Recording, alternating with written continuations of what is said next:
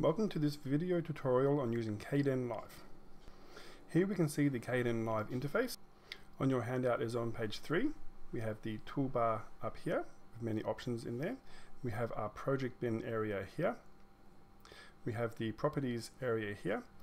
We have the, get rid of that one. We have the all the um, different transitions that you can do over here in this selector. And we have our timeline down the bottom here and our preview area here.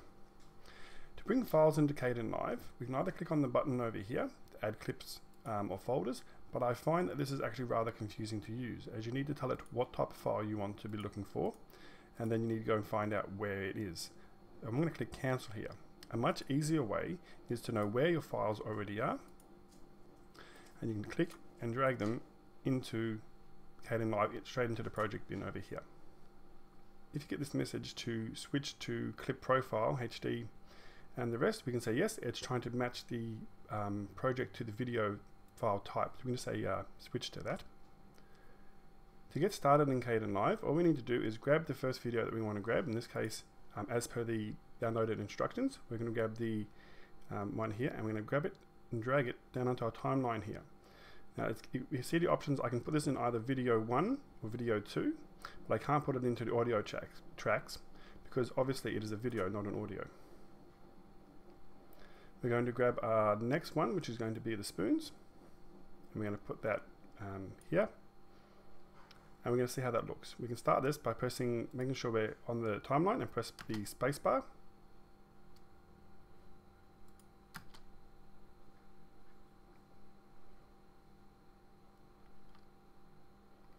And then we can see up in the top right hand corner in the preview here, we can see our video going along. You can see in the timeline, we have the um, position moving along here.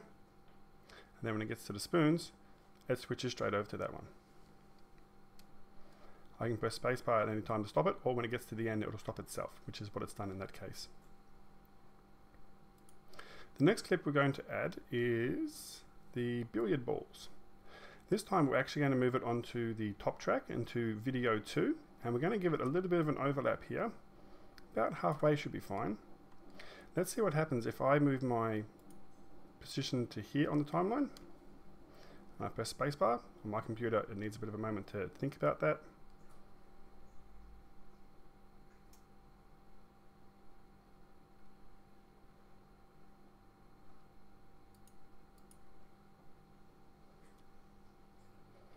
So you'll see the spoon one does not get a chance to finish the billiard balls because it is above it in the timeline. It overrides it. So there's actually an easy way that we can also shorten this clip to make it fit a bit better. If I put my cursor over this part of the clip, we can see that if I hold down left click and drag it, we can actually shorten the clip. This is actually going to cut the first part of the clip. It doesn't actually um, compress it at all. And we're actually going to leave just a little bit of overlap about that much. Um, and we're going to add a really simple transition. And this is one of the things I love about Kdenlive. A lot of other programs make this um, quite difficult to do, but in here it's really easy. Before I do this, I'm just going to zoom in first. I'm going to set my point here. On the bottom right hand corner of the screen, we have the little zoom slider here. I'm going to left click that and drag it to the right a bit. You see the timeline is zooming in. A quick note about the numbers that you can see up here. These numbers can be very confusing. Uh, starting from the right and moving left, we have how many frames, how many seconds, minutes, and hours. Now the frames is a bit of a confusing one because it depends on what the video file has been set up as. In this case, I think it was 23 frames. So for every 23 frames, one second will pass. So here we can see this is 12 seconds. This is 12 seconds and 12 frames. Uh, here we have 13 seconds, 13 and 12. And if I zoom in further, you'd see that more, but that's fine for now. Just keep in mind that it is from right to left, how many frames, how many seconds, how many minutes, and how many hours. In Kdenlive, it's really easy to add transitions. To do so, put your mouse cursor down the bottom left-hand corner of the video in question. At the moment, you see I have a whole hand. If I move it down to the bottom left very slowly, it changes over to a pointy hand, and it has a little description that pops up there too. Click to add compositions. All I have to do is left click once, and it automatically adds in a wipe transition. Let's see how that looks now. I'll just move back in the timeline a little bit and press the spacebar button again. Here we see the spoons, and as the gets to here, it wipes and fades into the billiard balls. Fantastic. Pressing spacebar again pauses it. If I want to watch that again, I can click back here and press spacebar again. That's pretty cool. That's some very easy video editing done right there. Let's move back to the very start of our clip. There's a few ways we can do that. Pressing the home key will take us to the start of the current clip. Home key on the keyboard. Holding down control and pressing home will take us right back to the very start. That's a great way if you've gotten lost how to get right back to the start. As I demonstrated before, clicking down the bottom left would give us a, um, a screen wipe. However, there is another way. If you put your cursor to the top left corner, you'll get a little green circle. If I left click and drag this time, I'm going to make this three seconds long. I know that it's three seconds, a couple of different ways here. We can see underneath, well, right next to my hand icon, that we have uh, three seconds and a few frames. Now it's exactly three seconds. We can also see up here, we are very close to the, the three second mark. If I now make sure I'm at the start, which I am, and press spacebar, we should have a three second fade in. Two and three. And there we go. Now the picture's up to full. Uh, another way to zoom in and out, and one of my favorite shortcuts on the computer in all time, is holding down the control key and using the, the mouse wheel to pull backwards towards you to zoom out and away from you or upwards to zoom in. Sometimes though this can end up being in a place that's very very confusing. So once again if you zoom out again you should be able to find where you are. If I click here and zoom in it should take me over to here. So now we have our three clips. If I come down here to the bottom we can also use the scroll bar. It's very hard to see uh, but if I actually click the scroll bar and pull to the left, we can see we have our, our source clip here. We have the spoons immediately after, and then we have the billiards um, clip on top. And we did it on top so that we can have a transition between the two. If the two clips are together like this, you cannot do a transition between them. You must have an extra layer. What's really cool though is if we want to transition to another clip, I'm going to drag this along just a little bit. I'm going to grab the piano one here and I can put it down here on this, this other layer down here. Put it about there. Now, can anyone remember how I would add a transition to this one? If you said click the little button on the bottom of the clip, you'd be right. Now I can also adjust this one as well. If I want to uh, move this along a bit this way, I can also click my arrow here, drag it across, and we've just increased the, the length of that. So we actually uh, make sure we're in the right spot and press spacebar to see how that looks. Hmm. I think we might need to adjust that a little bit. Let's drag this over, play it from about here and have a look. Let's have a change to the piano just after that last ball falls into the pocket. There. A bit more. Okay, so I can move my cursor to the end here, click and drag this back to here. I can click and drag this one as long as I have the, the whole hand icon. The whole hand icon means grab and drag. And if I do it like this, how does that actually look? ball falls in while the piano is changing. You know what? I don't actually like that. But what's really clever is if I bring this back over, I can actually un sort of clip the end of that one and leave a bit of extra space. A great editing tip whenever you're recording footage is to always leave space for editing. So before you start recording, leave a few seconds blank and then after you finish recording, leave a few extra seconds as well. This will help a lot when you are editing videos, so give yourself some extra space to um, be able to make these kind of adjustments. Once again, I can adjust the transition here. Let's take it back a little bit and have another look.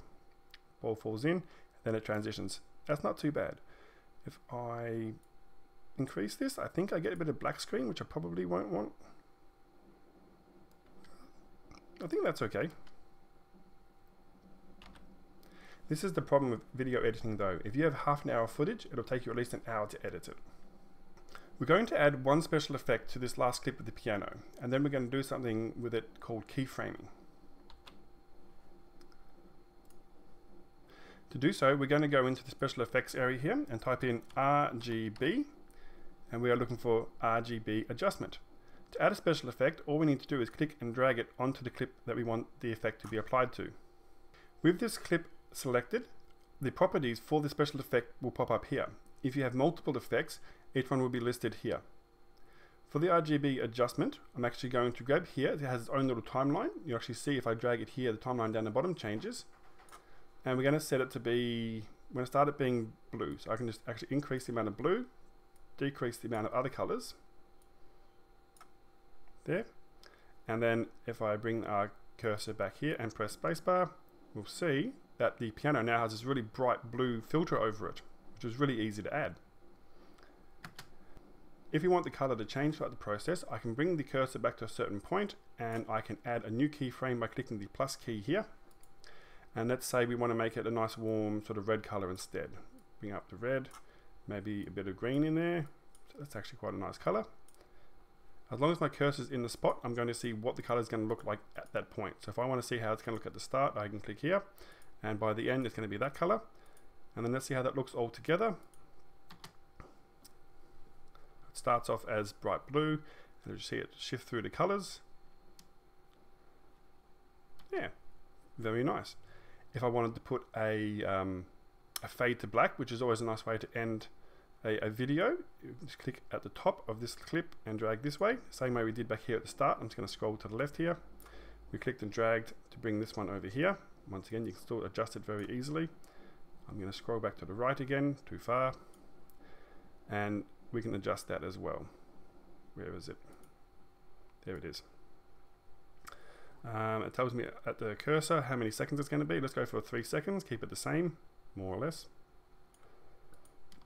And then as it fades into red, it'll also start to fade out. Mm, maybe too much. This is where you also spend a lot of your time fiddling with things. It's very hard to get to a point where you go, yes, I'm just going to leave it. And let's have it fade out about there a much shorter fade. You'll see the difference here. There we go. So I just added another file here to my files that I'll be uploading uh, for the resource pack. It's a song called A New Beginning by an artist named Bensound who produces royalty-free music. So it's a very good place to use um, sounds because you will not get in trouble for it. And once again, I can just click and drag that into my project bin. Really super easy to add sounds. Now because this is um, audio, uh, I need to click and drag this into the um, on the audio channels. You can see here I'm trying to pull it to the left to get it to the start and it is sort of slowly moving along. It would be easier if I just uh, drag this across here and then put it here. I want it to start at the start. I'm going to put it down there. And then I don't know if the sound is going to come through. We'll give this a try. And okay, my cursor was at the end of the clip there, even though my my um, I was at the start of the timeline. Control Home and that sound is way way too loud so I'm just going to turn that way down um, we can also do that in the video as well there we go that is nice another adjustment we can add to make this a bit quieter is the gain I can just drag the effect once again onto here and then when I click on the clip I get the special effects for it, uh, the, the properties and I can just decrease the gain to let's say 56% much more gentle. We can also see at the top right hand corner here how loud it is. If these bars are spiking all the way to the right, it's too loud and it would actually come up as red. That's actually quite a nice level. Now because this song is longer than the entire clip, I can zoom out a little bit, put the cursor here at the end, drag it across a little bit, and we can use a tool we haven't used before, which is the scissors tool. Uh, I showed you before that you can click and drag a clip to, to shorten it. We can also use a scissors tool and then we need to switch back to the normal one and then we can click on that and actually just delete that. Now that we've finished all our editing that we want to do for this clip, to finish up we can click the render button, select MP4 and render to file. Uh, at the moment I did not give it a name so I'm actually going to click no to that. We can actually also give it a name here. Test video and then click render to file. Depending on how big your video is, how many elements it has, um, how long it is, what um, quality of video it is, this can take anywhere from a few seconds to over a few hours. The more powerful computer will also make this process a bit faster too. Alright, it's all done. You can navigate to the path where it's, where it's been saved to.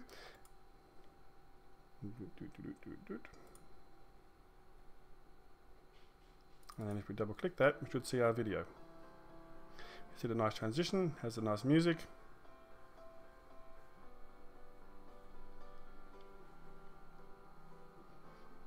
Cuts to the spoons. billiard balls, and finally piano.